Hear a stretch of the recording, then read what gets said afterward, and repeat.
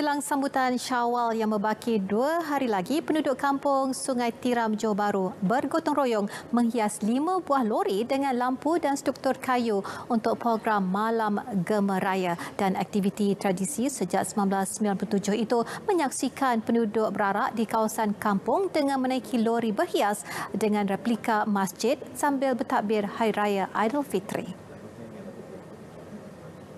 Pengasas program Saiful Rashid berkata, aktiviti tersebut pada asalnya bertujuan menggalakkan anak-anak muda melakukan aktiviti bermanfaat pada malam raya.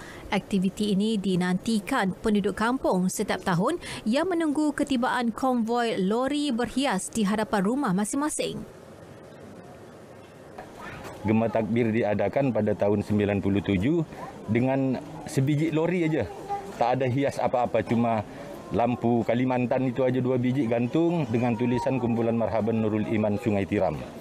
Itu kan setiap anak malam raya yang punya keluarga di Sungai Tiram, insya Allah dia balik Sungai Tiram untuk melihat uh, gemar takbir yang kita adakan. Dalam Johor, negeri Johor, saya saya rasa ini sebuah kampung yang uh, salah satunya yang menganjurkan program uh, takbir raya seperti ini.